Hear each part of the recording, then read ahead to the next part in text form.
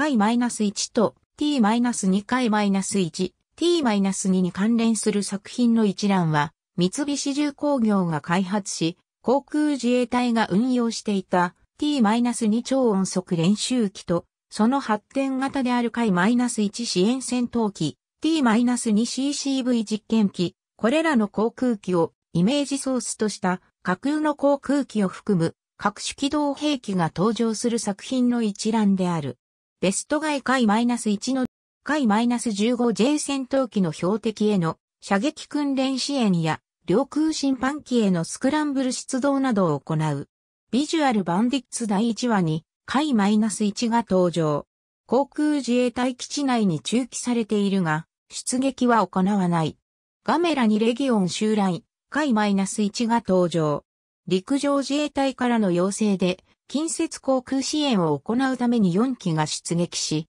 足利市内を進行する巨大レギオンをマーク、82、無誘導爆弾で空爆する。しかし、命中弾は得られず、巨大レギオンが放った小型レギオンの編隊を寸前で回避、撃墜されることはなかったが、戦果を得られないまま帰投。その後は、第二次航空支援を準備するも、ガメラによって巨大レギオンが撃破されたため実行せずに終わる。ゴジラシリーズ、ゴジラ回 -1 をベースとして、主翼前方と胴体下部にカナード翼を備えた架空機、回 -1CCV が登場。東京港沖に出現したゴジラを80式空、対艦誘導弾などで攻撃するが、放射熱線によって2機が撃墜される。ゴジラモスラメカゴジラ東京 SOS 主人公が制作した回 -1 のプラモデルが登場。登場人物によって簡単な解説がされており、同作のパンフレットの登場兵器紹介にも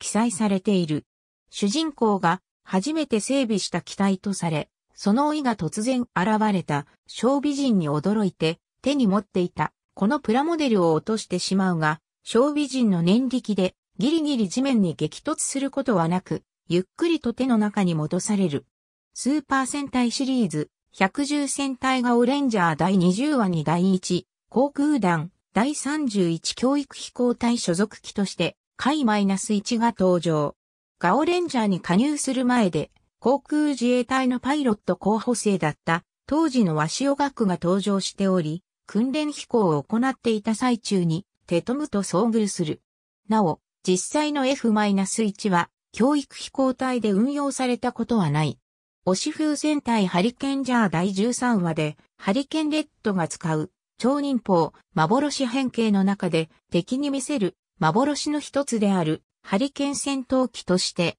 回 -1 が登場する。生物水星 WO、テレビドラマ版、第5話に防衛隊の戦、文京区内を進行する、怪獣ゲルバイルを空対艦ミサイルで攻撃するが、一機が撃墜されてしまう。ムクゲの花が咲きました回 -1 が登場。特撮で合成された数機が韓国の施設を爆撃する。模型による飛行シーンではなぜか、回 -100 スーパーセーバーらしきプラモデルに変わっている。白箱後半クールで描かれる、劇中劇、第3飛行少女隊の制作シーンにおいて、3DCG 用のモデルデータを作成する 3DCG を用いた飛行戦闘シーンでモーションをつけるといったアニメーション制作上の様々な工程に回 -1 が登場する。また、後半クールのオープニングフィルムにも短時間だが登場する。第三飛行少女対主人公、アリアの上記として、回 -1 が登場し、アリアの天才的な操縦能力によって、敵であるビルダーの操る回 -22 ラプターや、回 -35 ライトニング2と、互角以上の戦いを繰り広げる。劇中でも E-2CE ホークアイパイロットの口から、本来回 -1 は、敵戦闘機とドッグファイトできる能力は、持っていないはずだと語られる。アニメ制作スタッフの群像劇を描いたテレビアニメ白箱の後半クールにおいて主人公たちが制作していた劇中劇であるが白箱の BD、DVD 第7巻に映像特典として第3飛行少女隊の第1話25分が収録されている。また、第1話において空中給油のシーンは描かれていないが、アリアの蒸気には実機には存在しないフライングブーム方式の重油港が備えられていることが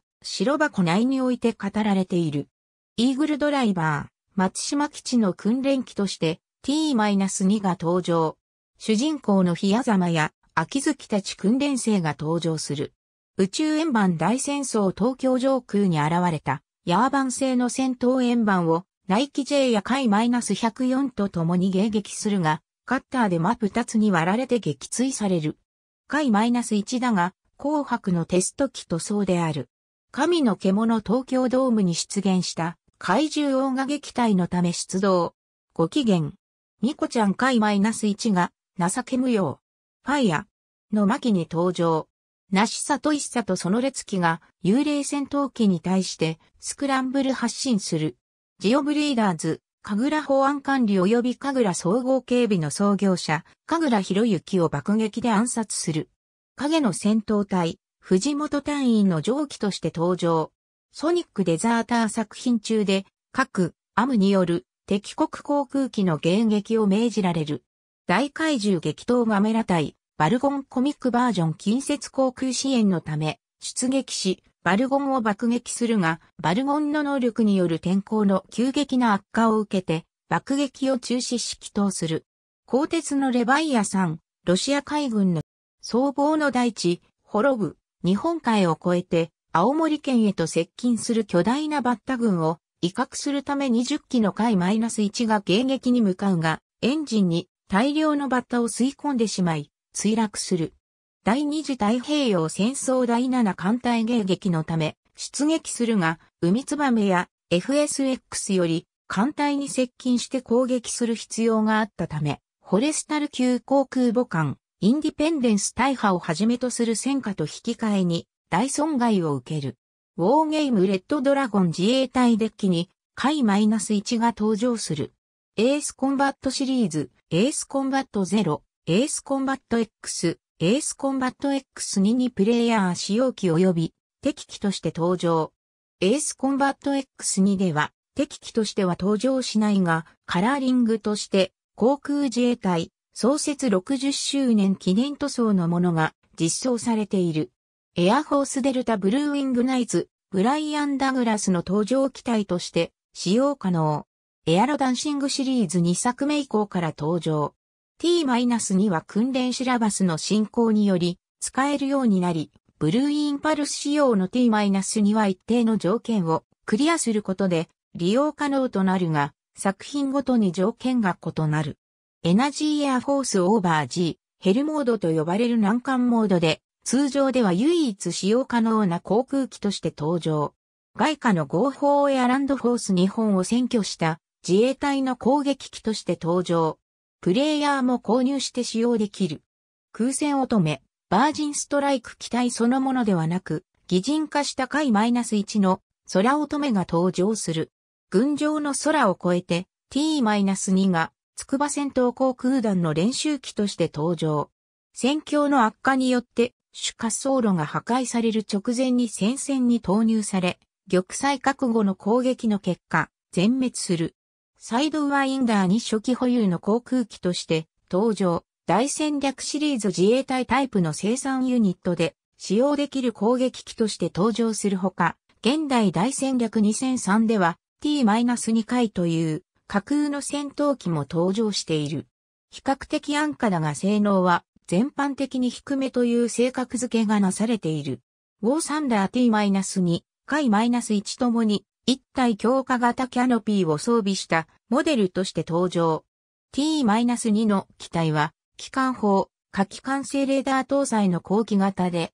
爆走及び空対空ミサイルを装備可能となっており、本来は練習機であるが、ゲーム内ではジェット戦闘機と区分される。AIM-9B や AIM-9E 爆弾を搭載できるようになっている。ありがとうございます。